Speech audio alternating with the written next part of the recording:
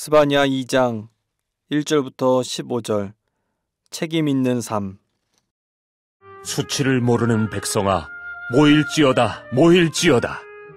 명령이 시행되어 날이 겨같이 지나가기 전 여호와의 진노가 너희에게 내리기 전 여호와의 분노의 날이 너희에게 이르기 전에 그리할지어다. 여호와의 규례를 지키는 세상의 모든 겸손한 자들아 너희는 여호와를 찾으며 공의와 겸손을 구하라 너희가 혹시 여호와의 분노의 날에 숨김을 얻으리라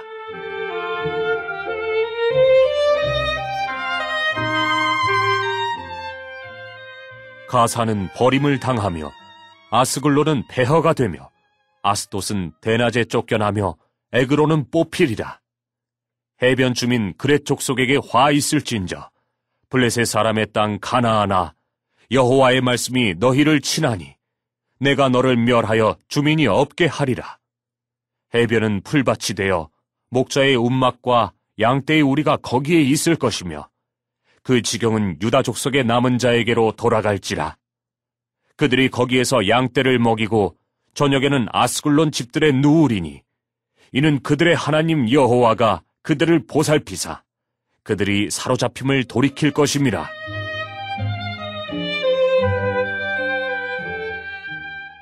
내가 모압의 비방과 암몬 자손이 조롱하는 말을 들었나니 그들이 내 백성을 비방하고 자기들의 경계에 대하여 교만하였느니라. 그러므로 망군의 여호와 이스라엘의 하나님이 말하노라.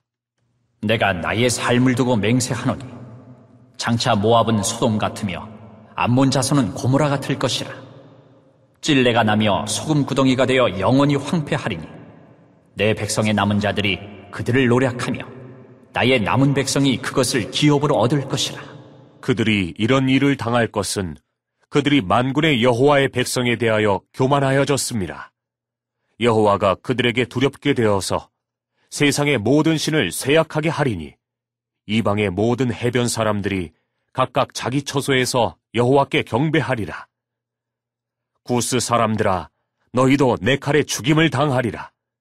여호와가 북쪽을 향하여 손을 펴서 아수르를 멸하며 니느웨를 황폐하게 하여 사막같이 메마르게 하리니 각종 짐승이 그 가운데 때로 누울 것이며 당아와 고슴도치가 그 기둥 꼭대기에 깃들이고 그것들이 창에서 울 것이며 문턱이 적막하리니 백향목으로 지은 것이 벗겨졌습니다. 이는 기쁜 성이라 염려 없이 거주하며 마음속에 이르기를 오직 나만 있고 나 외에는 다른 이가 없다.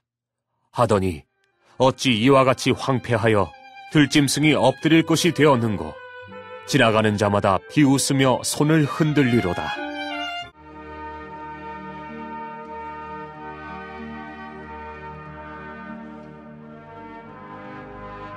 (1절부터) (3절) 공의와 겸손을 구하라 스바냐는 일장에서 여호와의 날에 도래할 세상을 향한 우주적인 심판과 유다에 관한 심판의 임박성과 확실성에 대해 언급했다면 이제는 회개를 촉구하는 메시지를 선포합니다. 하나님의 심판 앞에 어떠한 소망도 없어 보였지만 스바냐는 살 길이 있다는 희망을 제시합니다. 그것은 바로 회개하는 일입니다. 구체적으로 말하자면 여호와를 찾는 일, 의와 겸손을 구하는 것입니다.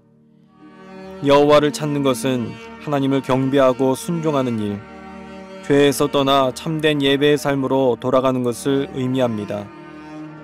또한 의란 하나님과의 관계 안에서의 바르고 거룩한 삶을 살아내는 것이며 겸손은 자신의 연약함을 인정하고 늘 하나님의 도우심을 구하며 사는 것입니다. 이처럼 죄를 떠나 하나님을 찾고 의지하며 살아가는 자는 환란 중에도 하나님이 지키시고 보호하시는 줄 믿습니다. 그에게 심판의 날은 곧 구원의 날이 됩니다. 4절부터 15절 이스라엘 이웃 나라들이 받을 벌 스바냐는 열방에 대한 심판의 메시지를 선포하는데 각각 블레셋, 암몬과 모압, 구스, 아수르에 임할 심판의 내용으로 나뉩니다. 이 나라들은 유다 땅의 서, 동, 남, 북에 위치하고 있습니다. 이는 심판이 온 세상에 임한다는 상징적인 의미와 더불어 하나님이 열방을 통치하신다는 의미를 갖고 있습니다. 하나님은 역사의 주관자이십니다. 이스라엘뿐만 아니라 열방이 하나님의 뜻 아래 있으며 그들의 흥망성쇠가 하나님께 달려 있습니다. 또한 역사의 모든 것은 하나님이 정하신 여호와의 날, 곧 궁극적인 심판과 구원의 때를 향해 나아갑니다. 그날에 모든 자들이 하나님 앞에서 각자의 삶과 행위에 따른 보상과 보응을 받게 될 것입니다. 그러므로 우리는 역사의 끝에서 모든 일을 평가하시는 하나님 앞에서 언제나 책임 있는 삶을 살아야 합니다. 기도하겠습니다. 하나님, 주님께서 우리의 삶 가운데에 함께하여 주시고 온전하고도 완전한 주의 뜻을 향해 나아갈 수 있도록 인도하여 주시니 참으로 감사를 드립니다. 주님을 찾는 것, 주님 앞에 순종하는 것, 그것을 떠나지 않게 하여 주시고 그로 말미암아 환란 중에서도 주님께서 지키시고 보호하시는 그 은혜를 기억하며 살아갈 수 있도록 인도하여 주시옵소서. 오늘 한 날도 주님께서 보호하여 주실 줄 믿사오며 예수 그리스도 이름으로 기도드리옵나이다. 아멘.